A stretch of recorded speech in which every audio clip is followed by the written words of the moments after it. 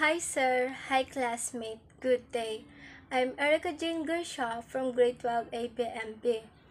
In this lesson, I've learned in subject Contemporary Philippine Art from the regions in short CPAR. In the discussion on lesson 1, I've learned art is in visual form. Also, art is the expression or application of human creative skill and imagination. We can create art through expressing our emotions to become an art. This could be done through painting, sculpting, drawings, and etc. In the discussion on modern art, I've learned that it is about the people, places, and ideas that the artist had direct contact with.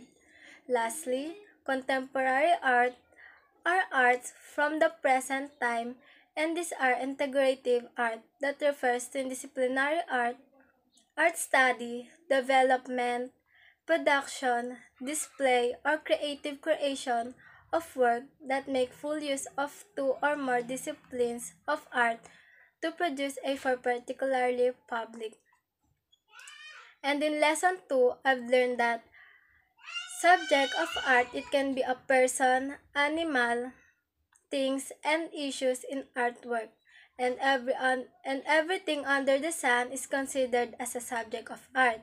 I also learned that there are four different forms of art. Realism, distortion, abstraction, and non-objectivism.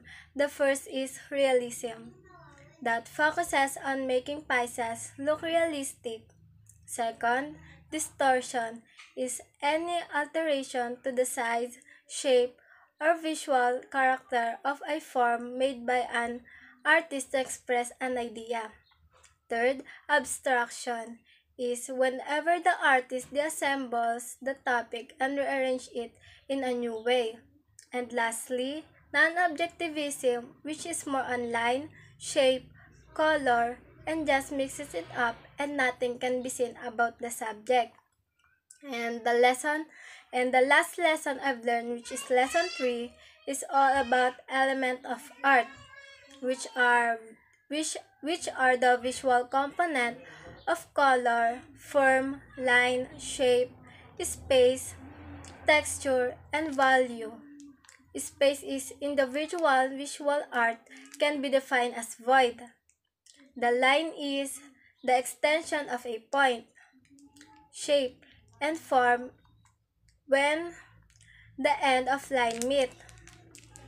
Color is probably the most striking art element that catches the eye.